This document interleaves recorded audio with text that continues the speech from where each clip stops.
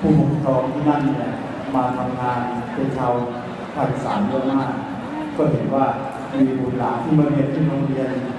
เป็นลูกๆชาวภาคอีสานเยอะเขาคิดที่จะทำวงดนตรีเป็นวงดนตรีพื้นบ้าน เป็นวงเล็กๆจากนั้นมาไม่นานก็สามปีให้หลังบังเอิญมีท่านผู้ในวยการท่านท่านย้ายมาอยู่โรงเรียนของเรา แล้วท่านเป็นคนจังหวัดสุรินทร์ ท่านก็คิดว่าเอ๊ะมันน่าจะมีวงดีโบราณพัดลมนะเพื่อที่จะให้เด็กๆลูกๆหลานชาวอีสานได้มีกิจกรรมร่วมกัน ก็ต้องขอกราบขอบพระคุณนะครับผู้ที่เริ่มขณะนี้ท่านเองเป็นผู้ในวยการอยู่ที่โรงเรียนบางประกอบวิทยาคม ซึ่งท่านย้ายจากโรงเรียนมัธยมน้ำแข็งปั๊บก็ต้องขอเสียงปรบมือขอบคุณท่านผู้ในวยการโสพลกมลครับจากโรงเรียนบางประกอบวิทยาคมครับวันนี้ท่านมาอยู่ จากการควบคุม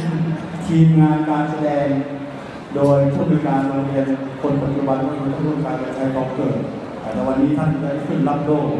เสมาปปสกับเขาด้วย เมื่อวานนี้โรงเรียนได้รับรางวัลอินโด